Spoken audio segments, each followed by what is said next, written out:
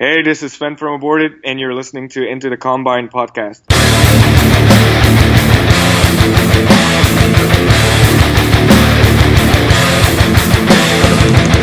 Hey, what's going on, all you metal listeners out there? This is Into the Combine!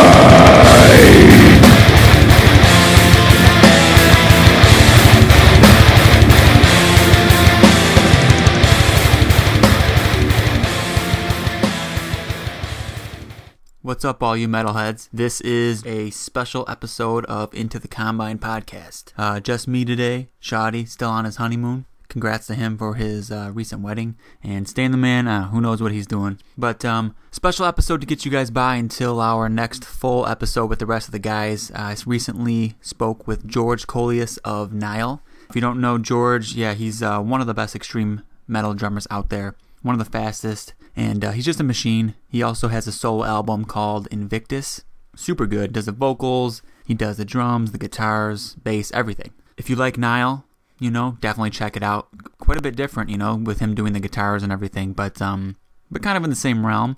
And then uh, if you're a drummer, you know, check out his DVDs. He's got two two metal DVDs. I think they're called like Extreme Extreme Drumming, something like that. Uh, if you if you Google George George Kollias uh, DVDs, you'll see it. And then I believe he's got a book out, and just check him out on YouTube. Uh, he's awesome. I mean, if you've never watched any YouTube videos of him, you know he does these different kind of techniques. He was the first person I ever saw to do, you know, one foot uh, blast beats and his swinging heel techniques and all that. So we talk about some of that. We talked about you know triggers in metal since that's kind of a hot topic sometimes using triggers. Is it cheating? Is it not? Uh, had him recap the whole thing in Russia when they were on tour with Belphegor with some religious people, um, basically trying to shut their show down and uh, kind of trying to entice them in, in, an airport and everything to start a fight. So we touched on that and, um, you know, his whole story and everything. We're going to start things off with a track from Nile, uh, the album Annihilation of the Wicked. Uh, I believe it was the first one with George on it. Before that, they had a different drummer, and then George came on for that album and has been with them ever since. Uh, and then we're going to do, at the end of the interview, we'll play a track from his solo album Invictus. Didn't pick out the songs yet. I'm going to pick those out in a minute here before I throw this episode together. Um, but I'll put the uh, song titles in the description if anyone's interested. So check it out. Uh, hopefully, you guys enjoy it. And um, hopefully, we'll be back with a couple more episodes, you know, within a couple weeks. So we will uh, we'll let you guys know. Thanks and stay metal.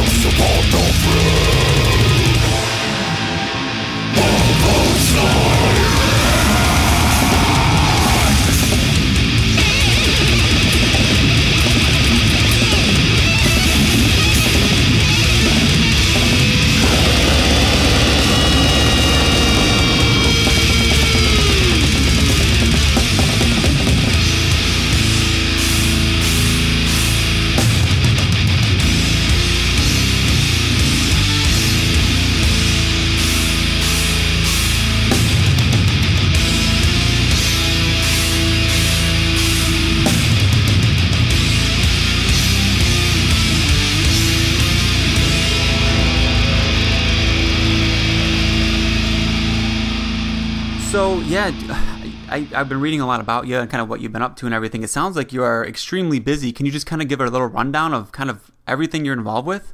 Oh man, um, right now I'm not that busy. You know, for the first time after like uh, at least I don't know 12 years or so. You know, um, I I just have a small break with the band and uh, with clinics and everything, and uh, enjoy a little bit of uh, family time.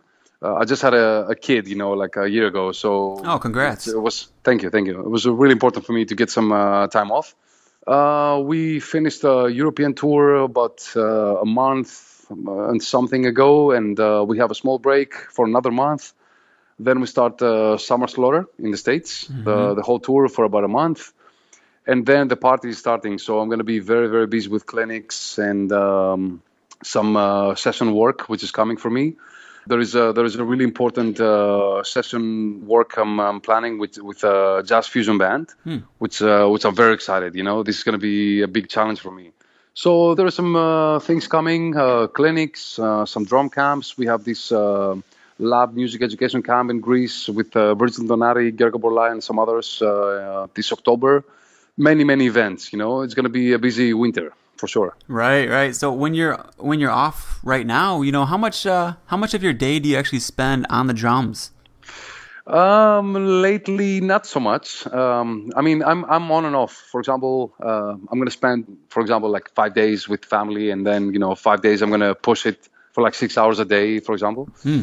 I'm preparing myself for this uh, October gig with uh, this jazz fusion band, and um, I'm practicing like really different stuff you know like different songs uh, it's it's a it's a whole new different world. So i'm i'm trying to get into it slowly and uh, understand the music very well.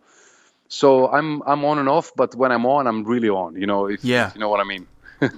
Yeah yeah. I mean that was one of my questions too because uh, since you've been at it for a long time and the level that mm-hmm. you're at how much time do you spend practicing, you know, Nile material or your own material versus kind of trying to maybe learn new things or, or you know, new techniques? Well, the new things come. Uh, they come from uh, different genres. Usually, you know. I mean, I'm gonna practice um, some favorite drummers in chops and you know like licks and you know stuff like this. Some gospel stuff, some jazzy stuff, you know, and then try to get them in death metal, for example. Uh, the latest new album, for example, uh, the, the latest uh, Nile album, for mm-hmm. example, has um, some um, new ideas, which uh, I'm very proud. You know, like I I worked and um, you know got some different stuff in the music, and um, yeah, that's it pretty much. Okay. Usually.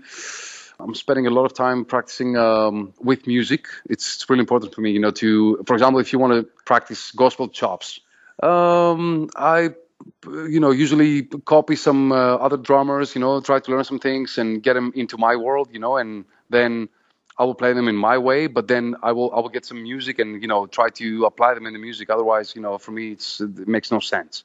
As far as Nile stuff uh, and you know this extreme stuff, I don't really practice extreme metal anymore, but I do play our songs very often. You know, so we have a set list which is pretty long, and I will get into it like three times a week, sometimes four, depends. You know, when it comes closer to the tour, just to keep it, you know, keep my chops up. You know, and get ready for the tour because uh, it's um, it's a very tough world. You know, sometimes you know different stages and you know bad sound. So I try to prepare myself with uh, in you know worst case scenario, for example. Is with extreme metal is that kind of where you started, or, or where what was your beginning as far as playing goes? Did you kind of meld into it as you went, or did you start with that? Uh, when I started playing drums, there was no extreme metal actually. Uh, I think. Um, it came about one or two years later with uh, some the first death metal bands, for example, like Morbid Angel, and later on you know, Obituary, you know, these bands. But uh, when I started playing drums, was you know there were bands like uh, you know Metallica were kind of like into the extreme side, you know, and of course you know bands like uh, thrash metal bands like Sepultura and Kreator, Sodom, or all these uh, thrash bands which I, I, grew up with and uh, I still love. You know, I still love playing their stuff and listening to the stuff. So I would say I'm a thrash drummer. But you know, then you know, I heard more potential. I got into the music, and I'm like, okay, this is really cool. You know, this is really they they pushing their limits, and uh, you know, of course, I want to do the same for me. You know, I just wanted to be better and more extreme. So here we go. right, right. Was that what you kind of practiced then too? Were you, you know, did you teach yourself by learning their songs, or did you, you know, kind of learn and then just come to that at some point? Yes, uh, it was all by ear for the first ten years. I would say nine to ten years. There were there were no YouTube videos back then, so it was uh, really really tough, you know. But on the other hand, I, I feel very lucky because I had to work a little bit harder, you know, to understand their music and you know what the drummer does. So yeah, that was it. That was uh, all by myself, you know. Yeah, you wouldn't But- have uh, tabs back then or anything like that, or YouTube. No, man, no, no. That was you know back then it was like you know if if if you studied drums, you play jazz music. You know if you if you want to play thrash, you do it by yourself. You know. Yeah, yeah, But right. then, you know, after after ten years uh, or less, I uh, I met my uh, my drum teacher, which is still one of my best friends and my drum mentor. His name is Yannis Stavropoulos, and that guy was, um, you know, he he stepped it up for me. You know, he he was like, okay, I know you like what you do, and I'm going to help you to do it, you know, um, a little bit better. So he he believed in me. He believed in what I do, and you know, he was just you know pushing me to play better, but you know, still keep my style. So that was uh, for me, and I still think is you know the best thing ever happened to me. Yeah, you know, for me, because I'm not, I'm personally, I'm not a drummer. I have a lot of drummers around me, Mm-hmm. um, my brother, my friends, but um, I heard about you quite a, a while ago, and I had a, I took a pretty big interest in you just because of your YouTube videos. And the big Yep. thing for me was the one foot double bass and the swivel techniques. When did all that start? um, I think um, actually the one foot blast started back in '92 or something. You know when you know the first Morbid Angel albums came came out. You know, so I heard the blast beat and I was like, okay, I like this. This is extreme. I want to do this. You know, so I started practicing the blast beats.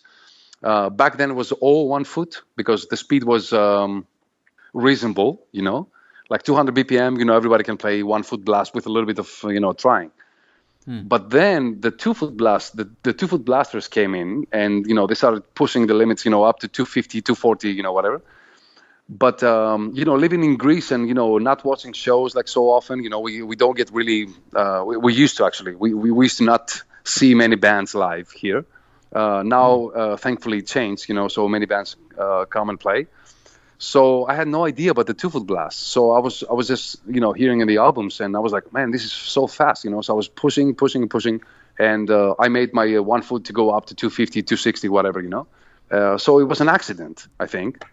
yeah, it was. I mean, you know, Was anybody else doing it uh, there were. Uh, I remember at that reading. speed? And, and I remember reading interviews of Pete Sandoval, you know, talking about the one foot blast, but I had no idea what was the the cheating way he was talking about, you know, the the, the alternative way.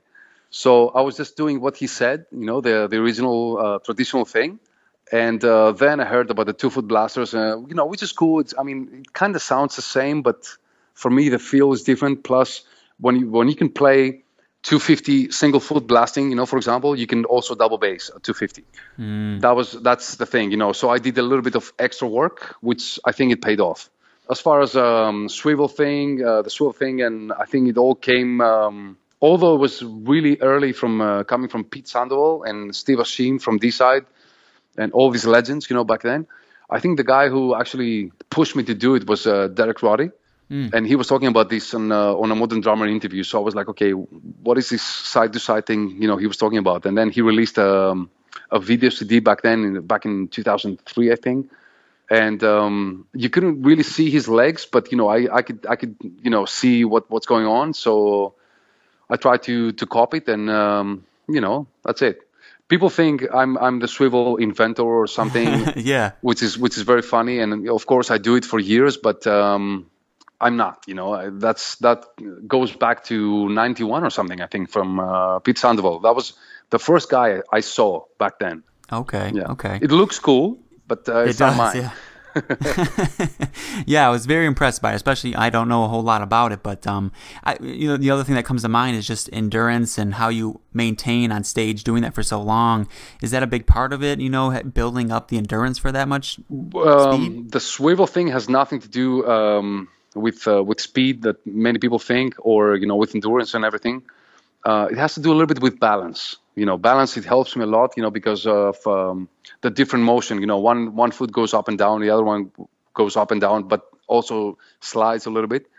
So it it used to help me. You know, like uh, balance wise. and that's it.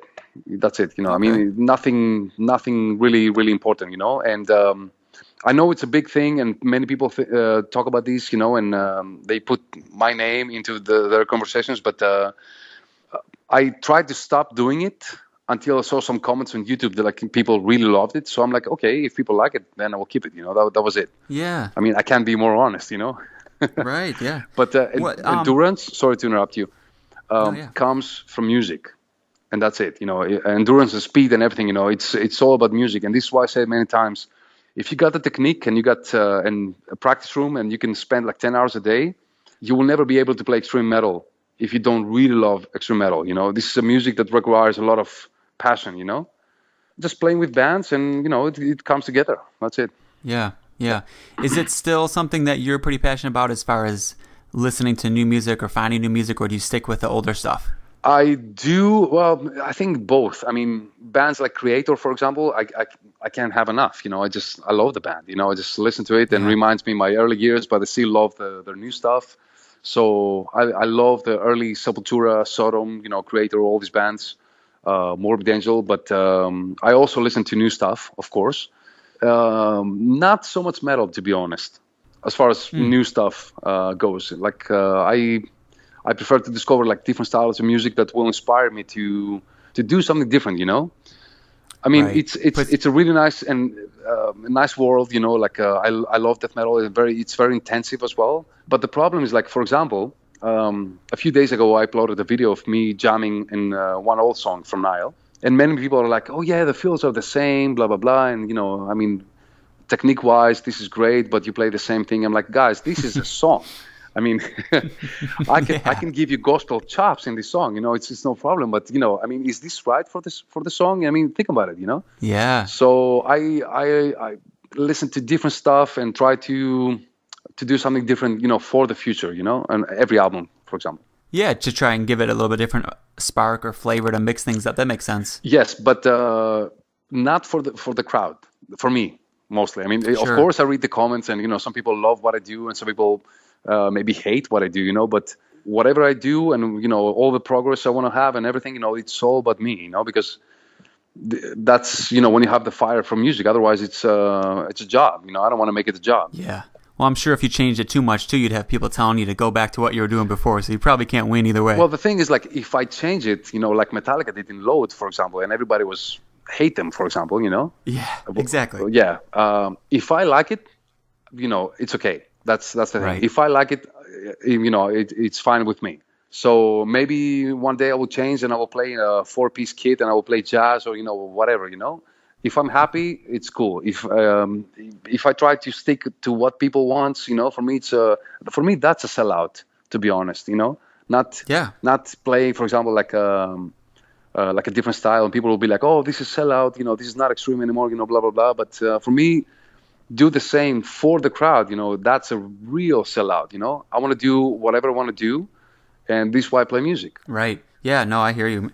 Well, I wanted to get your opinion um, uh, on triggers and drums because we had a couple of our listeners ask questions on what our opinion is on drums in uh, in, in, in metal. Um, I believe you use triggers. What's your opinion on, on triggers and kind of is there a place where it can become laziness with them, or or what do you think about them? That's a good question. I think that's uh, that's like a two-hour answer, but I'm gonna try to make it short. Um, well, the bass drum, okay, it's a big drum with a lot of moving air inside. So if you don't use triggers and you want that clicky sound, and you know, like you want this um, like, um, no dynamics, and you want the kick like up front, you know, you have you have to use a lot of uh, gates and compression, your compression, you know, like all this stuff. Which for me, this is a form of triggering, anyways. So I see people watching like bands, like uh, I don't want to say names, but big bands that use no triggers, but they, they have a sound engineer which uses shitloads of gates and compressions, like all this stuff, and they're like, he's not triggering, but this is even worse. They don't get it, you know. So for music, for for death metal music, we want the crowd to get the kick drums, you know, like up front, like feel the kick drums very well Yeah, yeah, and that's the best part. Super fast. So that's impossible. That's impossible. Nobody can do that. Nobody can do that above like 190 or something BPM. There is no way. There is no way.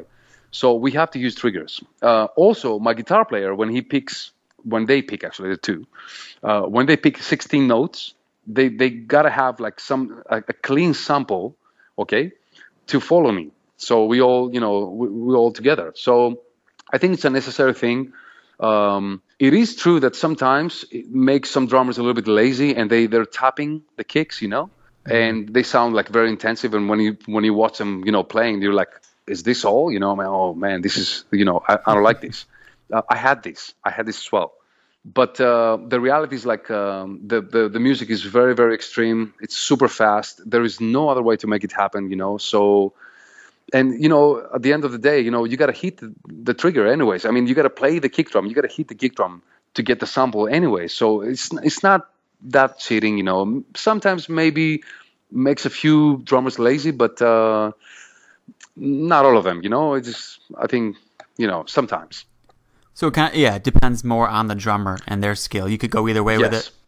Uh, well it, yes, you can, obviously, but when you go live, people will see you. You know, if, if they see Yeah. like a, and this is why many drummers get these uh, tapper comments. You know, they're like, "Oh man, you know, this guy is a tapper, blah blah blah. He's tapping," and you Ah, know, okay. there's so much, so many bad talks on either, and you know, it's it's insane. Um, but like I said, I think we we give them uh, the chance to say it anyways, because some of us will play like super soft. Ag- Again, it's super fast music, so I, I don't think I don't I'm, I don't know any other way to make it happen, and you know, like get the kick drums up front, you know, with uh, natural kicks, anyways. Sure, sure. Yeah, and Oh, also, sorry to interrupt again.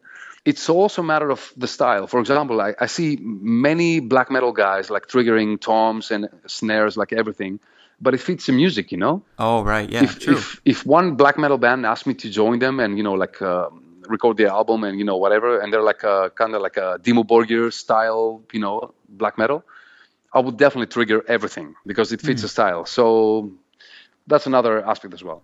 No, I like that. That actually that clears it up quite a bit for me. Mm-hmm. Um, that's just a very popular question you'll see online, or people trashing drummers just for using triggers in general. So I just wanted to get a different, uh, someone with some uh, reputable information on that one. Well, uh, can they do better? If somebody can do better, okay. If you can play 260 with natural kicks, I mean, I can do it. I can hear my kicks when I play 260. I can hear them on stage. But the problem is like you will never hear them, on, you know, when when you're in the crowd and we play live, you will never get them up front the way you get them with triggers. So I, I don't like triggers anyways uh, myself. Uh, I don't like uh, like uh, the, all these electronic stuff, you know, because we, we play a very natural instrument, but uh, it's necessary, you know. I mean, uh, a distortion pedal on, on the guitar player, it's the same thing, actually. Right.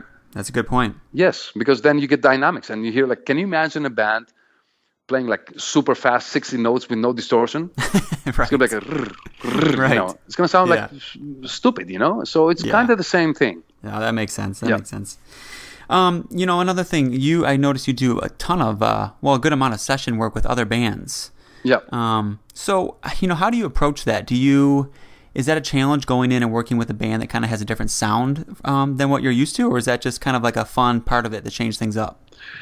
Actually, um, it sounds like a job. Like for example, when I'm here, I get my own studio. I can record for other bands and you know make some money. But that's not the case. Otherwise, you know, I will, I will play you know for five bands every month. Uh, I try to play for bands that um, will give me something different than you know my solo project, for example, or Nile will give me. You know, so I, I have a chance to work for um, hard rock bands and speed metal bands. Some. Uh, more like uh, dancey death metal stuff, you know. So every time I hear something different and nice, of course, you know, I'm like, okay, yes, of course, you know, I want to do this, and uh, we talk with the band, and you know, we figure out everything, and um, I try to challenge myself and get into this position, you know. I think one of the most extreme stuff I did was um, the album uh, for the band Out Loud. I don't know if you know this band. It's a, No. it's a Greek band, uh, like a hard rock, like or classic metal stuff, you, could- you could say as well Okay. but I try to make myself sound like like a um, hard rock drummer, you know, you know, with a fat snare and you know, like all my my fast Yeah. um, fast beats were like uh, kind of like on the upbeat. And, but anyways, you know, like some some uh, you know a few details that I really want to you know touch, you know, playing with a with a band something like really different. So of course it is a job. Obviously, you know, of course I make a living out of uh, you know uh, recording for other bands, but uh, I try to pick up the bands and uh, play like different style bands. You know, I mean, you will never know except one session actually, which was a great band from Italy. The name is Ade. Yeah, I'm Uh, familiar you will that. never hear me playing a- any other band and like uh, like close to Nile stuff or my stuff, you know. Sure, sure. So it, it is a personal challenge and uh, some fun times for me. Yeah, no, that's cool. I always like to hear, a, you know, a, a drummer or someone in, in a different environment, just to hear what they bring to the table. Yeah. What um for all your projects, your solo stuff, everything, um, you know, I'll probably play a couple songs um on this episode. What are a couple that you're most proud of that you know that you would want a listener to to kind of hear what you have? We're talking about Nile songs You or know, uh, anything really. If it's just something that some anything. tracks Oh, that you are really proud of.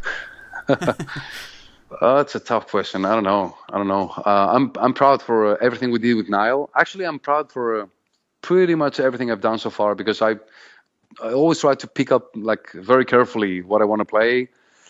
But uh, mostly, I think uh, is my band. You know, Nile. Yeah. Because you know we're 12 years together, and you know we worked our asses off. You know, all these years, and uh, we've been through very rough times, and we still keep going.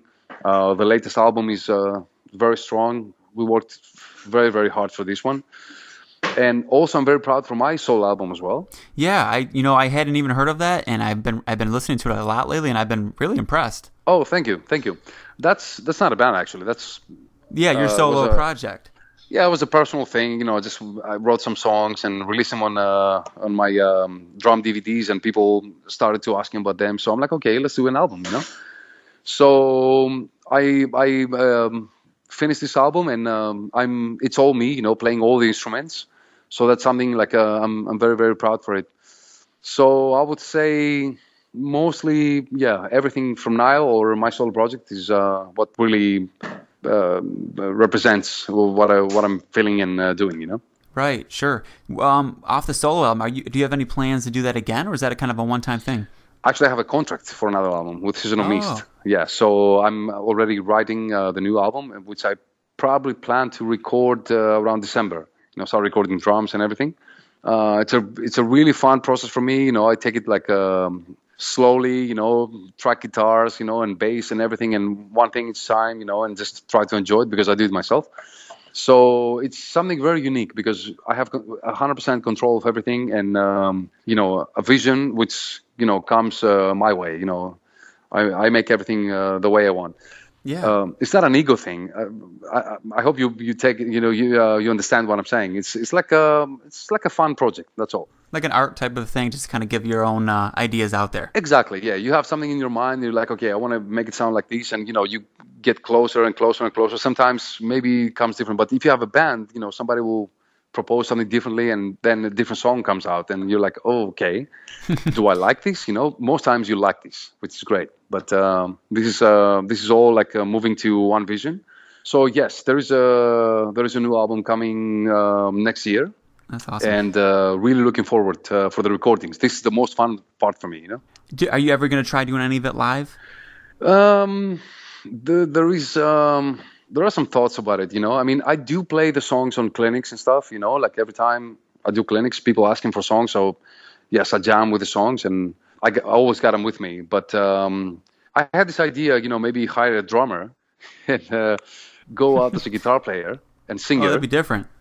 Yes, that'll be that'll be real fun. You know, that'll be the real fun. So maybe do something uh, like a one thing. You know, maybe like a short tour or something, and uh, go out there as a guitar player and singer. That'll be that'll be really fun. And actually, I know the drummer. I got the drummer already. Can you say who it is?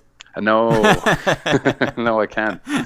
But I got I got this guy is amazing. You know, he's Yeah. um, he's one of us. You know, like uh, he's pushing it. So I really like this drummer. Yeah. That would be uh, that would be awesome. Um, you know, I, uh, with that too, you know, do you ever since you can play guitar? I didn't realize you know you had the vocals and all that. Do you ever bring any of that to the table with Nile, or do you stick mainly just with the drums? the guys asked me many, many times, you know, to bring some uh, riffs and stuff to the table, but um, to be honest, I never did it uh, out of respect for the band because you know my guitar guitar playing is like the, the level of my guitar playing is really low compared to Nile. I mean, Nile is really really pushing it.